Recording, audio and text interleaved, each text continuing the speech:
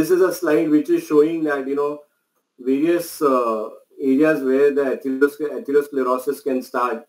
The something which are in uh, light red color, these are the areas or the site where the, you know, atherosclerosis. So when we are trying to do a, uh, say, MRA brain, where which means a magnetic, uh, magnetic resonance angiography of the brain. So when the magnetic resonance angiography of the brain is done, the vasculature is tracked down right from the neck structure till the circle of Willis. You know, the entire territory is being uh, tracked down by this particular study. So if you can see in this particular slide, on the left hand side, this is the atherosclerotic changes and this the same has been uh, same has been seen here. You can see here this particular vessel you can see there is a there is a beading beading is seen. There is a narrowing here which is seen. So this is the internal carotid artery. Here there is a atherosclerotic changes.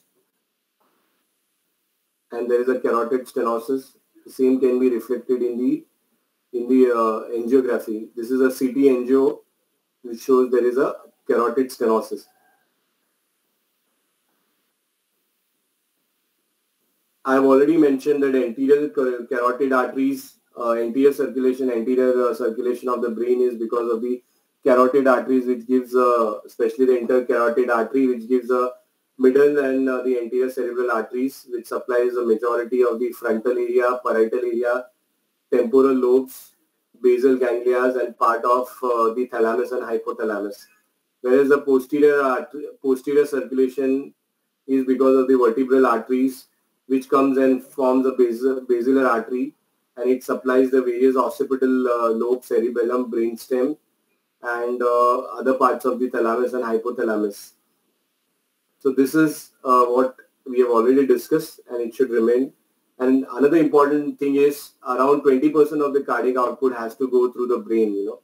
So if there is an interruption of this blood supply to the brain for more than 30 seconds, there can be a, a uh, cascade of inflammation and the ischemic phenomena which may lead to uh, brain cell death if it is prolonged to two minutes. If there is a transient block of 30 seconds, the phenomena of the you know ischemic damage starts. But if it is as far as two minutes, then the phenomena is much more progressed. And if it is more than five, two to five minutes, then there are chances that there will be brain cell death so that's why we need to uh, aggressively approach this particular uh, phenomena or this particular disease. So these are the various atherosclerotic plaques which are seen time and again. I'm trying to show you this is because many a times uh, as a physician, you know, we often get scared to uh, advise the investigation. But the first and foremost thing which is important is to investigate what is the cause of the disease, you know